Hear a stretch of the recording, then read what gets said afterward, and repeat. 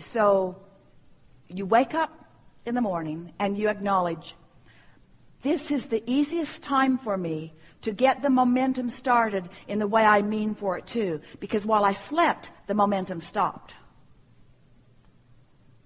Hear that. Know that. Say that to yourself every morning. Now, I could pick up things I was worried about before, and I could activate them again. Or I could just keep this momentum going. So, what does it feel like to not be thinking about all the things that you were thinking about yesterday?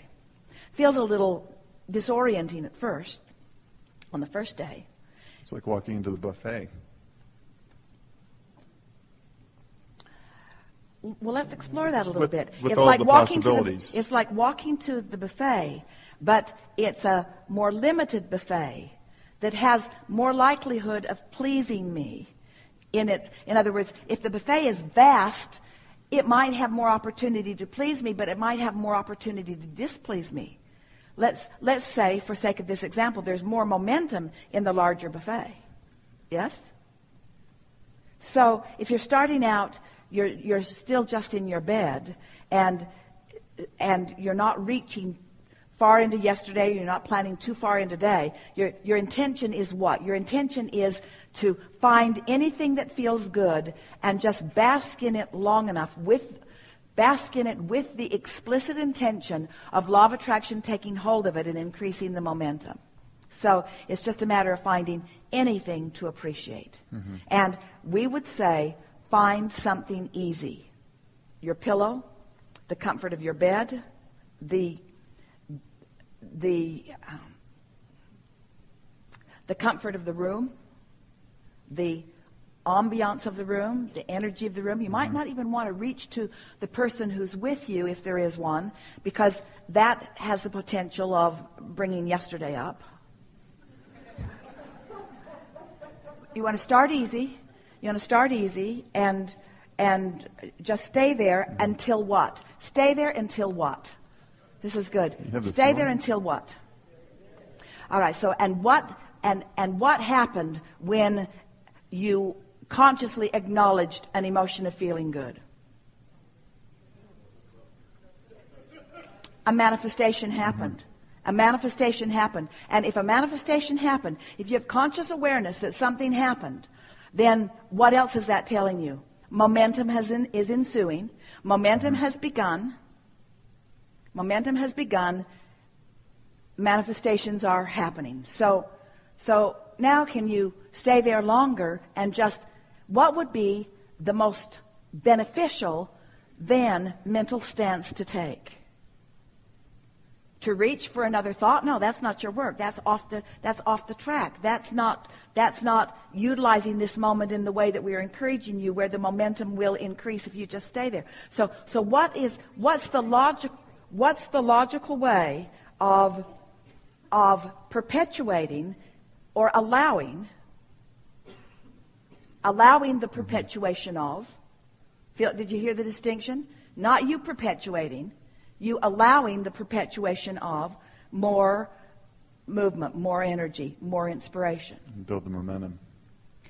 So, so appreciation of, soft appreciation of the momentum that's already there, soft appreciation of the emotion that you're feeling. It feels good to feel good, you could say. It feels good to feel good. I like feeling like this. I like the ease of lying here. I like, I like how wise I am to allow myself this moment. It's really smart of me to lie here and get off on the right foot today. I love knowing about law of attraction. I love the concept of momentum. I love knowing the well-being that surrounds me. I, I have so much well-being in my life. Now you're branching out a little more. I have so much well-being in my life. Now when, about the time that, the, now, friends, these thoughts are being inspired to you. These thoughts are being inspired to you. It feels to you like Esther is speaking them, and therefore like we are thinking them. But these thoughts are being inspired by the collective consciousness of those of us who are having this conversation here together. Can you sort of kind of get that?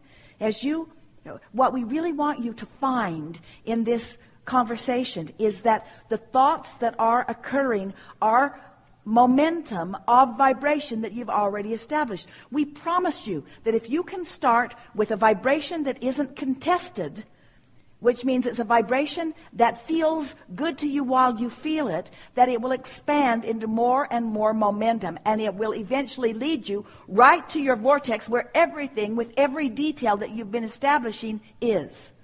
But in the meantime, let's just be where we are and feel the momentum of it. So, so, in very practical terms, I've just decided that I'm going to lie here until I feel the inspiration to do something different. How about that? I'm just going to lie here until I feel the inspiration to do something different. And then, all of a sudden, you want up. You want out.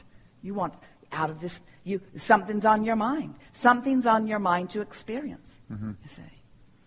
You might have an impulse to call someone. You might have an impulse to eat something. You might have an impulse to, to take care of something. But impulses will come to you. And what you will notice, First day, you might not even make it till breakfast. First day, you might not even get out of bed until, until things aren't working out very well. But by the time you're in the second and the third week of doing this, you'll, you'll feel the ease of the way your day is getting started. And because you've done that, now this is the most important part of that, because you have done this deliberately, You've established these criteria for yourself. You're making a statement to yourself and to the universe at large, but mostly to yourself. I want to feel good today, and I mean to feel good today. It's an intention that is part of the trajectory that was established before you came into this physical experience. So by finding this general decision to feel good today, you've dovetailed with the trajectory that you were born with. Oh, that's big momentum, you see. I intend to feel good. Today, no matter where I'm going and no matter what I'm doing and no matter who I'm doing it with, it is my dominant intent to find things that I'm wanting to see. Inspiration that comes from this vibration of, of, of alignment and well being. But it is piece by piece, like picking that chicken wing up at the buffet, making every decision on my path during the day, each incremental decision, the positive things that are going to make me really carry that momentum but throughout my day. The thing is, this is the thing, this is the distinction that we want you to hear. By doing that preliminary work and establishing your vibrational climate, all of that which that you just said just now will just be flows. it will be inspired. In other words, feel the difference between I'm going to make the decision and I'm going to receive the decision. I'm going to feel my decision. I'm going to know what to do. I'm going to be inspired to the thought, word, and deed. Because you keep thinking that we're trying to teach you a process so you can get over there. We're trying to bring over there over here. Because what's over there is feeling smart, feeling empowered, feeling sure footed, feeling vital and alive, feeling relevant, feeling happy, feeling joyful, feeling helpful, feeling uplifted, feeling brilliant, feeling tuned in, feeling the extension of Source, feeling co creative partnership with Source, feeling adventure, feeling knowing. In other words, oh, adventure and security coupled together, ooh, what a delicious moment in time that is, you say. Yeah. We know we're out there a bit. We know, we know that we really pushed the limits of your willingness to stay with us on this pursuit of vibrational understanding. But you got there. You did. You got there.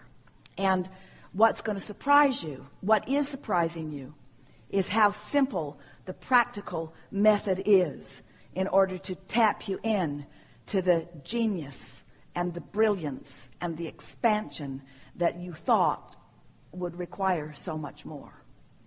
The PhD of deliberate creation lies in how willing you are to get off on the right foot vibrationally every day. Esther said to us after she'd been into this a while, because we, we kept saying to her, well, there's always tomorrow. Which was really annoying to her because she has books and books that we've written with processes about what to do when you're finding some negative emotion.